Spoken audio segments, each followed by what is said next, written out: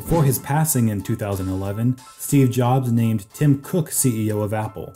This transition earned Tim Cook an unprecedented amount of attention and scrutiny from the tech industry.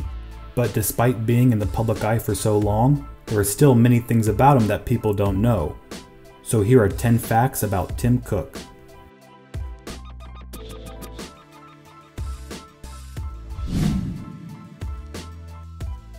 In 1996, Cook was misdiagnosed with multiple sclerosis, something he says made him view the world in a different way.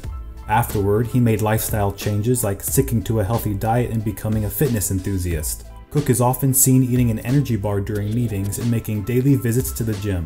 Despite Apple's state of the art gym facility, Cook uses an off campus fitness center in order to retain what he calls a basic level of privacy. The growing health epidemic plaguing countries across the globe prompted him to make health a primary focus of the Apple Watch. Cook said the device helped him lose 30 pounds and is optimistic that others can achieve similar results.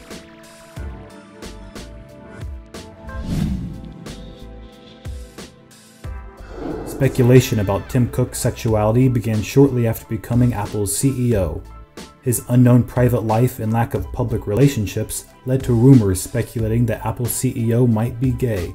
Tim Cook publicly acknowledged his sexuality in a 2014 Bloomberg article titled Tim Cook Speaks Up. He said, While I have never denied my sexuality, I haven't publicly acknowledged it either, until now. So let me be clear. I am proud to be gay and I consider being gay among the greatest gifts God has given me. Cook is allegedly dating Benjamin Ling, an investment partner at Khosla Ventures, although the relationship has yet to be confirmed.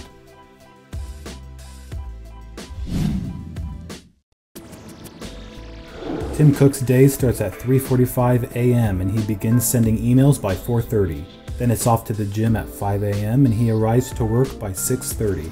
He has held Sunday night staff meetings by telephone to prepare for the next week and he's always the last person to leave the office. In response to his demanding schedule, Cook said, The thing about it is, when you love what you do, you don't really think of it as work. It's what you do, and that's the good fortune of where I find myself.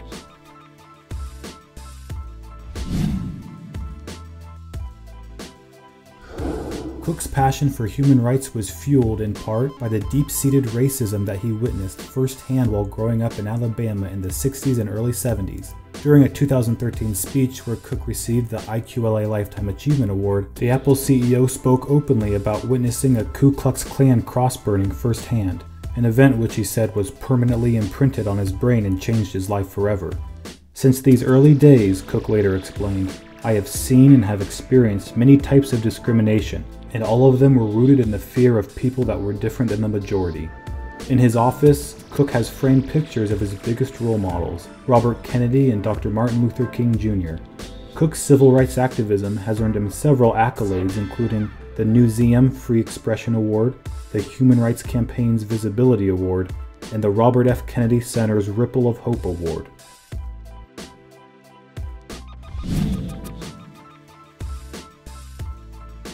On March 27, 2015, Cook announced he'd be donating the vast majority of his wealth to charitable projects, but only after paying for his nephew's college education.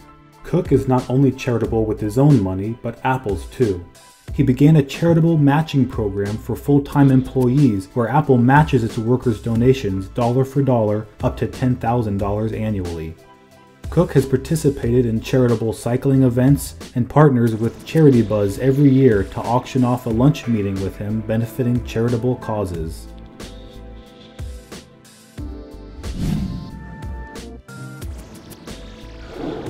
As a student at Duke University, Cook outlined a career plan for the next 25 years of his life.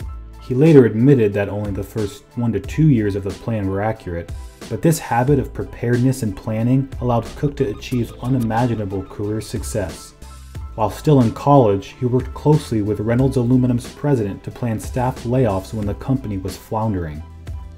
For 12 years, Cook worked his way through the ranks at IBM until becoming Director of North American Fulfillment. He later worked for Compaq as Vice President of Corporate Materials, but only for one year, until he took the job at Apple as their Chief Operating Officer. Upon receiving his job at Apple, he broke with tradition for operations executives at the company. Cook requested to have a small office kitty corner to Steve Jobs' office. Few people thought much of it at the time, but they would later look back at it as an indication of the new leader's ambition.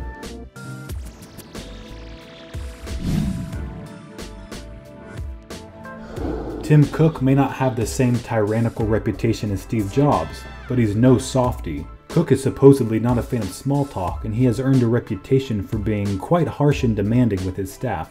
Cook reportedly told a planner that their numbers made him want to jump out that window over there. On another occasion, when in a meeting discussing a problem in China, Tim Cook noted that the problem was really bad and that someone should be in China fixing it. 30 minutes later, Cook then famously looked over at Apple's operations manager, Sabih Khan, and asked, Why are you still here? Khan was on the next flight to China.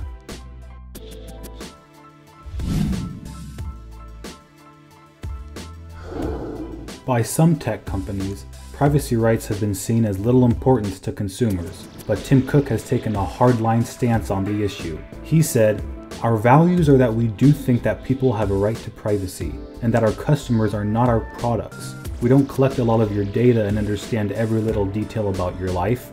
That's just not the business that we're in. In 2016, Cook caused controversy by refusing to create a special operating system designed to unlock an iPhone belonging to a San Bernardino shooter. He said creating the software would set a dangerous precedent and could extend to the US government demanding Apple build surveillance software capable of intercepting data on all iPhones across the globe. Cook takes privacy so seriously that he refuses to store consumer data even at the detriment of Apple's own virtual assistant, Siri.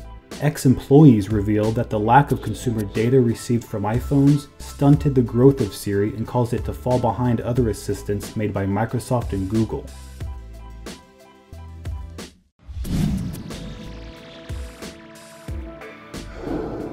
Tim Cook considers accessibility a core value of Apple and said, People with disabilities often find themselves in a struggle to have their human dignity acknowledged. They frequently are left in the shadows of technological advancements that are a source of empowerment and attainment for others, but Apple's engineers push back against this unacceptable reality. At Apple's annual shareholder meeting, an attendee advised Cook to only make moves that were profitable for the company. This drew an intense response from Cook, who said, When we work on making our devices accessible by the blind, I don't consider the bloody ROI. If you want me to do things only for ROI reasons, you should get out of this stock. iPhone continues to be the number one device used by people with various disabilities, and Cook's stance on the issue has gained a massive support from the community.